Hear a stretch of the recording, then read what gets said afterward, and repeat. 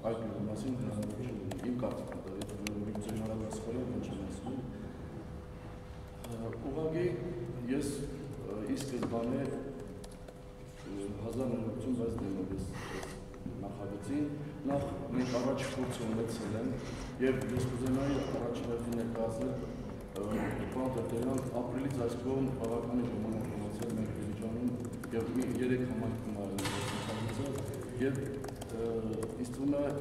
պետք է ասենք համոզիչ փաստարկներ լինեին որ այս ժամանակությունը ունենան ես չեմ ցանկանա դուք ասացիք որ այսօր ազգային ժողովուրդը հնարքվելու է սա եւ չգիտեմ ոնց կքվեարկեն մի հարգաժան պատգամավորները բայց կոնկրետ ես ինքս ես մեկ անգամ ասում եմ դեմ եմ սրան որովհետեւ բարեկամավանը ժամանակին ունեցել է ժամանակին մենք ունեցել ենք ոգի հետ համատեղ պրոտեստություն որը չի աշխատել ասենք երեք մեծամասնությունը տեղական ժամանակի երեք խորթային տարիներին Ես ուղղակի խնդրանքս նաև որ ես սա իմ կարծիք չեմ ասում, համայնքի բնակության կարծիք եմ ասում։ 99%-ը իմ համայնքում կոնկրետ դեմ Ձեր համայնքը բարեկամով։ Ես խնդրում եմ սա ուղղակի իմ կարծիքով ժամանակավոր է։ Ես կարծում եմ, որ պետք է հատկացում ենք հանձնաժողովներ,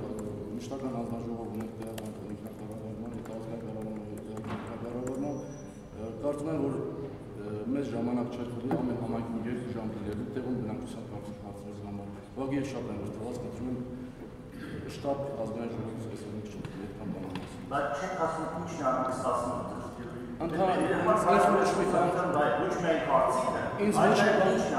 ինձ ոչ մի բան, հետաքրքիր չի, ուղղակի այն գաղափարը, որ պետք է կենտրոն լինի ինչ որ մի համայնքում, կապ չունի որ համայնքում, բարեկամավ անվանում համայնքում։